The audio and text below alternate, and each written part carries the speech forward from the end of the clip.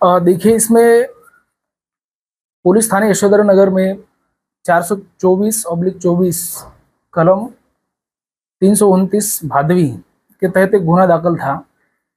इसमें फिरियादी की एक डीओ डीओ गाड़ी, जो कि उसके घर से सवेरे सवेरे ही किसी अज्ञात चोर ने घर घर घर के सामने से चोरी करके लेके गया।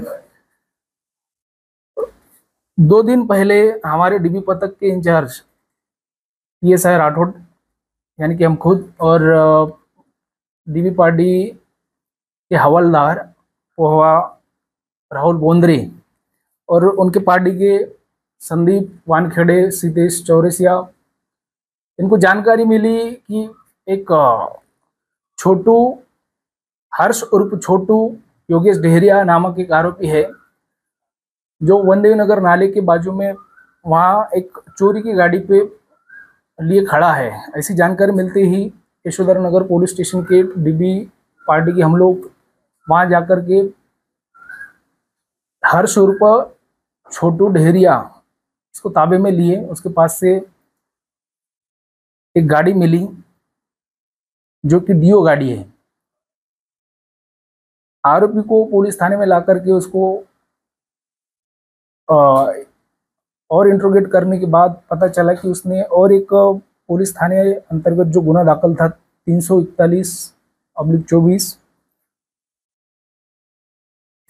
उसमें की जो गाड़ी है, एक्टिवा, वो भी इसी आरोपी ने चोरी किया करके उसने खुद अपने कबूल निवेदन में कबूल किया है। उसके तहत आरोपी के पास से वो भी गाड़ी हमने जब्त की है। आरोपी का एमसीआर करके कोर्ट यानी कि जेल दाखिल कर दिया गया है। इसमें गाड़ी, दोनों गाड़ी की कीमत तकरीबन